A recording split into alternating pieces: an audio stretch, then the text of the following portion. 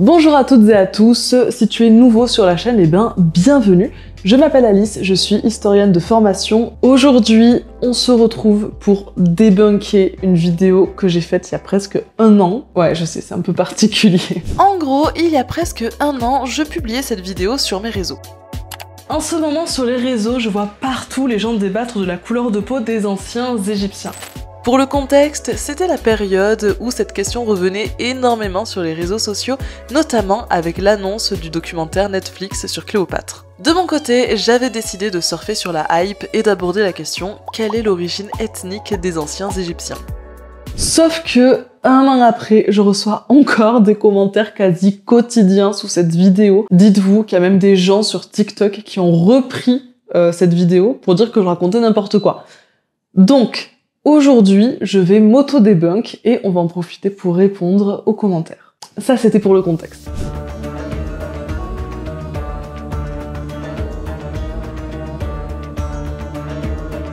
La couleur de peau des Égyptiens de l'Antiquité, c'est une question qui revient très souvent sur les réseaux et qui donne lieu à des débats féroces.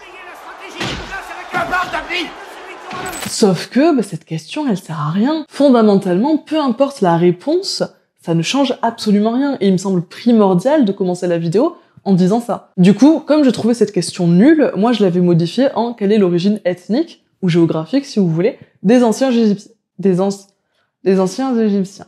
Là par contre, ça change tout. Cette question est tout à fait légitime puisque les égyptologues eux-mêmes se sont penchés dessus.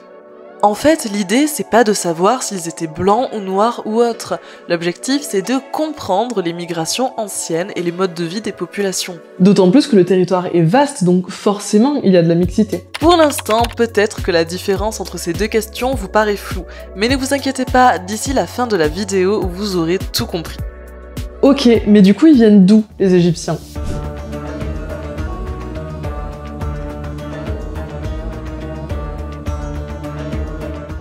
Dans mon short, je dis ça. Les Égyptiens étaient plutôt d'origine asiatique, c'est-à-dire qu'ils venaient du Levant, euh, du Proche-Orient actuel.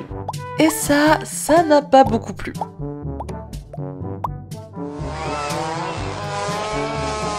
Sauf que vous vous imaginez bien que je suis pas allée inventer un truc pareil. En fait, je me suis basée sur des études scientifiques menées au cours des dernières années, dont par exemple celle de l'Institut Max Planck dont on va parler tout de suite. L'Institut Max Planck est un centre de recherche allemand. C'est l'un des instituts scientifiques les plus réputés au monde, avec notamment 31 prix Nobel parmi ses membres. Ça pèse dans le game, quoi. L'étude en question, c'est celle-ci. Une équipe internationale de chercheurs a analysé l'ADN de 151 momies égyptiennes issues du site d'Abou Sir el-Melek. L'étude couvre une période de 1000 ans puisque les momies sont datées d'entre 1400 avant notre ère et 400 après. Les individus étudiés étaient génétiquement très proches des habitants du Proche-Orient. En gros, ça veut dire qu'ils partagent des ancêtres communs avec les Sémites. On estime donc que les Égyptiens de l'Antiquité sont arrivés dans la vallée du Nil par une migration très ancienne dont le point de départ était le Proche-Orient. Ok, mais là vous me direz peut-être que ça ne concerne que le site d'Abou Sir el-Melek et pas le reste de l'Égypte. Et en soi, vous auriez raison. Sauf que il y a plein d'autres études ADN qui arrivent aux mêmes conclusions. Donc là, on parle de consensus scientifique. Par contre, j'ai eu des commentaires disant que l'étude était biaisée puisqu'à cette époque, l'Égypte était colonisée par les Grecs et les Romains. Sauf que l'un des objectifs de l'étude, c'était justement de vérifier si les conquêtes étrangères ont eu un impact génétique ou non sur la population égyptienne. Les conclusions démontrent que non, cela n'a eu aucune influence puisque sur la durée étudiée, eh les momies ont quasiment les mêmes gènes. Dans les commentaires, certains m'ont demandé pourquoi est-ce qu'on n'étudie pas les momies les plus anciennes, celles des premières dynasties. Eh bien la réponse est simple, si on pouvait, on le ferait. Il faut bien comprendre que récupérer des échantillons ADN sur des individus décédés il y a plusieurs millénaires, eh ben c'est pas si facile. Le problème majeur, c'est la contamination des tissus. En gros, il y a plein de facteurs qui viennent dégrader l'ADN des corps. C'est exactement comme si vous vouliez lire un disque, sauf que le CD est rayé. Si tu aimes cette vidéo, je t'invite à liker et à t'abonner. Ce sont des petits gestes simples, mais qui me soutiennent énormément. Je précise encore une fois, le but de ces études ADN, c'est pas de savoir de quelle couleur de peau les gens étaient, mais plutôt de comprendre d'où ils venaient et quel était leur mode de vie et leur mode migratoire. Voilà.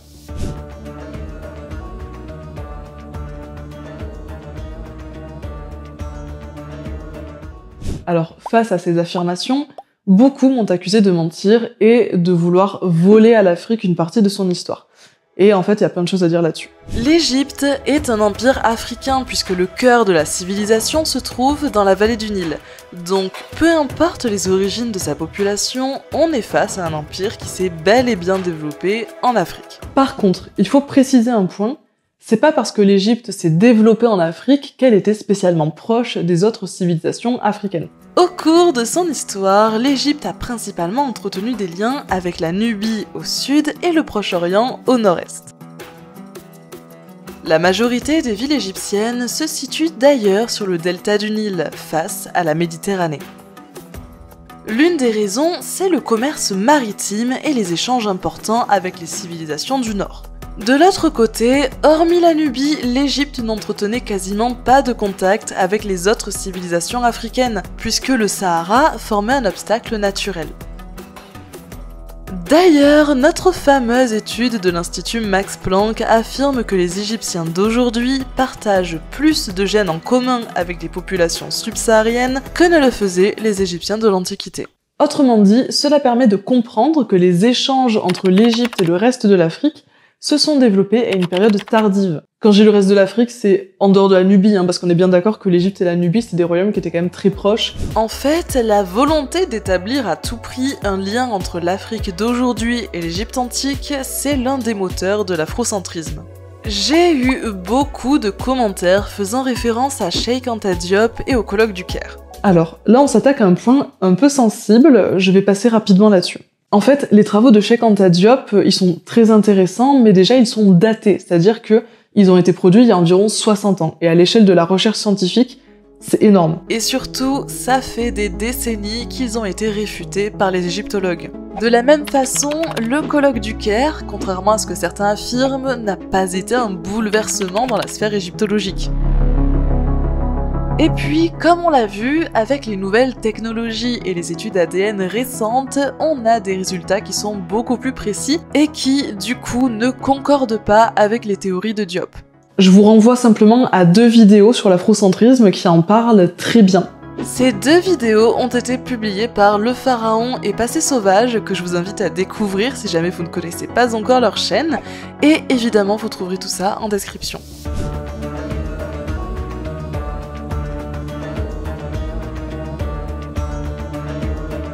On va finir cette vidéo en répondant à des commentaires qui sont revenus très souvent. Beaucoup de personnes m'ont demandé si les Égyptiens viennent du Proche-Orient, pourquoi est-ce qu'on ne retrouve pas de pyramides là-bas?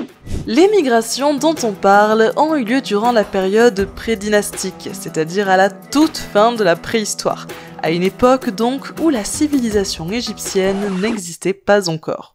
Pas de construction, pas de palais. Pas de palais. Pas de palais. Les spécialistes expliquent qu'au 4 millénaire avant notre ère, une civilisation purement nilotique se développe. Mais à une date ultérieure, un peuple d'origine sémite est venu s'installer en Égypte. Il parlait alors l'ancêtre de l'égyptien historique, qui était très proche du sémitique. Ce peuple s'implanta peu à peu sur toute l'étendue du pays et s'amalgama avec les autochtones. On considère donc que c'est ce mélange de populations qui est à l'origine de la civilisation égyptienne. Et puis, de manière générale, les pyramides, ce n'est pas ce qui définit la civilisation égyptienne. Globalement, les dernières pyramides datent de 1800-1700 avant notre ère, donc, dites-vous qu'à l'époque de Toutankhamon, on n'en faisait déjà plus. C'était has-been. Euh, pourtant, ça veut pas dire que la civilisation égyptienne a cessé d'exister. C'est deux choses qui ne sont pas liées en fait.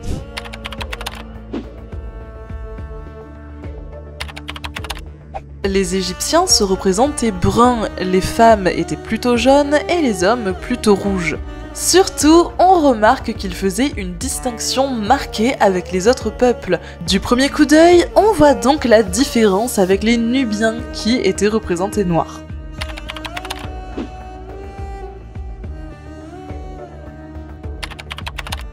Hérodote, savant grec du 5e siècle avant notre ère, a rédigé une œuvre intitulée Les Histoires. Dans le livre 2, il décrit les Égyptiens comme étant noirs.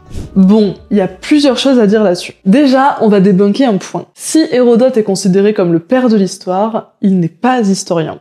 Pas au sens moderne en tout cas. En fait, si vous voulez, l'histoire en tant que discipline scientifique, c'est très récent. Et quand on étudie des auteurs gréco-romains, on a une méthode très précise euh, parce qu'il faut prendre du recul par rapport à ce qu'ils disaient les écrivains comme Hérodote ne font pas de l'histoire, mais une histoire, sans recul méthodologique et largement influencée par la morale et la philosophie. Leur but, ce n'est pas de retranscrire le réel, mais de transmettre un discours littéraire qui sera compris par les Grecs. Prenons un exemple concret, les Amazones.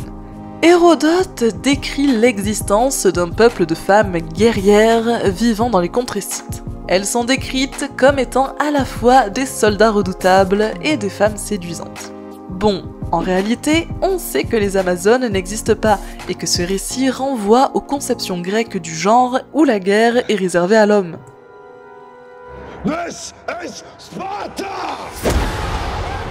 C'est donc un discours philosophique plus qu'une observation concrète. Bon, ce passage, c'était surtout pour que vous compreniez pourquoi Hérodote n'est pas historien. Mais revenons à l'Égypte. Le second problème, c'est que l'appartenance ethnique, c'est une notion qui n'existe pas chez les Grecs. Je m'explique. Dans nos sociétés actuelles, on se définit, entre autres, par l'ethnie. C'est un héritage des théories raciales du 19e siècle. D'ailleurs, j'ai fait une vidéo là-dessus si jamais ça vous intéresse. Mais dans l'Antiquité grecque, ça n'existe pas. Alors pour nous, ça paraît fou parce qu'on le perçoit comme une évidence, mais euh, bah, pas pour nos ancêtres. Et à nouveau, ce que je dis là, euh, je l'invente pas, hein, c'est le fruit de recherche, donc vous trouverez les sources euh, évidemment en description. En fait, les écrivains grecs concevaient simplement une opposition entre le monde civilisé, c'est-à-dire eux, et le monde barbare qui renvoie à tout le reste du monde, dont l'Égypte. Concernant la peau noire, ça ne renvoie donc pas nécessairement à l'ethnie noire africaine, mais euh, simplement à une peau jugée plus foncée que celle des Grecs. Et effectivement, avec les études ADN, on pense que les Égyptiens étaient majoritairement mat de peau.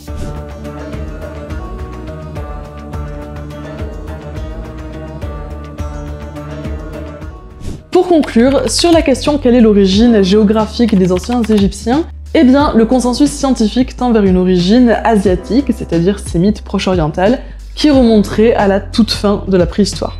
Mais s'il faut vraiment répondre à la question quelle est la couleur de peau des Égyptiens de l'Antiquité, eh bien la réponse c'est ni noir ni blanc. En fait, la vérité se situe dans un entre-deux. Après, le territoire était vaste, donc évidemment c'était pas uniforme. On remarque d'ailleurs que plus on remonte le Nil vers la Nubie, plus les gens ont la peau sombre, et au contraire, plus on descend le Nil vers la Méditerranée, plus les gens ont la peau claire. Donc, euh, donc voilà. Le but de cette vidéo, c'était aussi de montrer qu'on est face à deux questions, et donc deux réponses, qui sont différentes. L'origine géographique et la couleur de peau d'une population, c'est pas forcément la même chose. Et à nouveau, avant de finir, je le répète, la couleur de peau, ça ne change absolument rien. Voilà, donc je voulais un peu remettre les points sur les i, les barres sur les t, comme on dit. En tout cas, si vous avez des doutes sur ce que je dis, ou si vous êtes tout simplement intéressé pour en savoir plus, toutes les sources sont dans la description, donc vraiment je vous invite à aller les consulter. En tout cas, merci d'avoir regardé cette vidéo et je vous dis à la prochaine.